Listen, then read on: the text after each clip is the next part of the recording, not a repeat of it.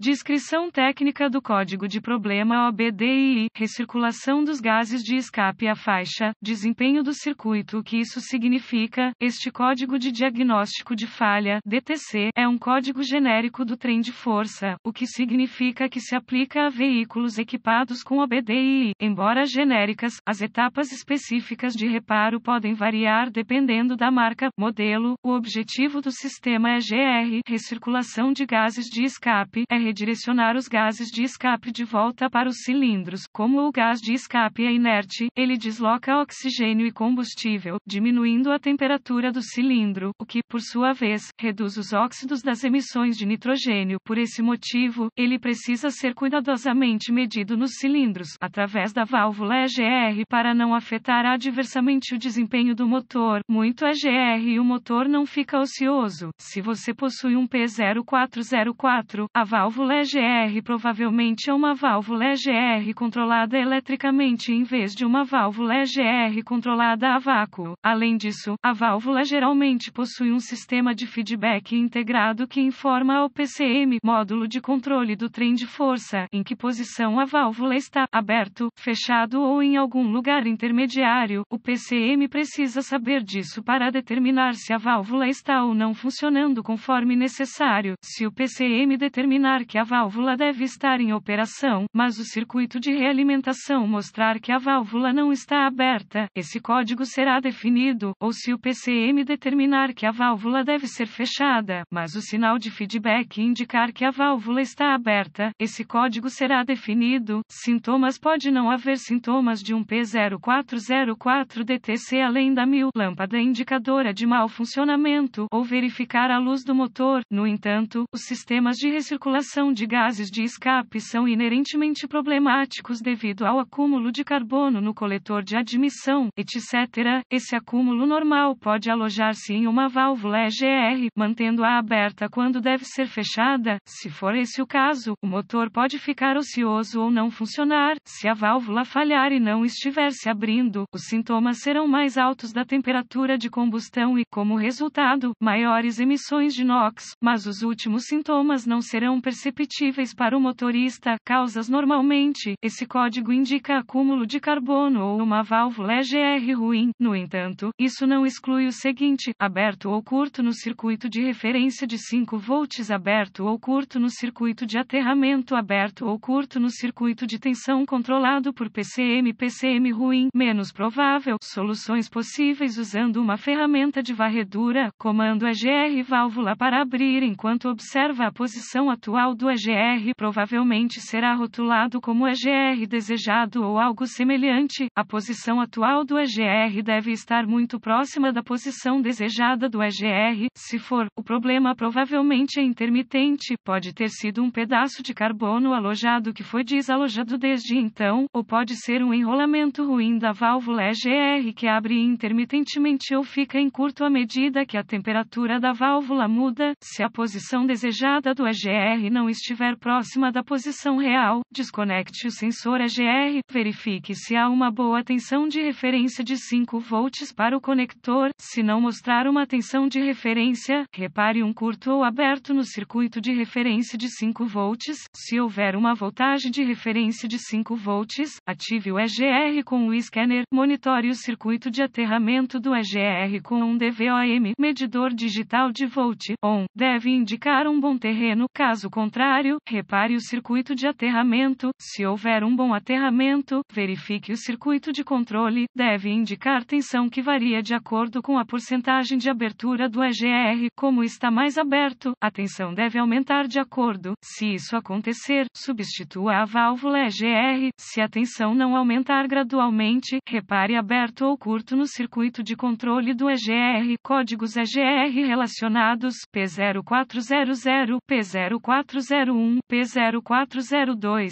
P0403, P0405, P0406, P0407, P0408, P0409,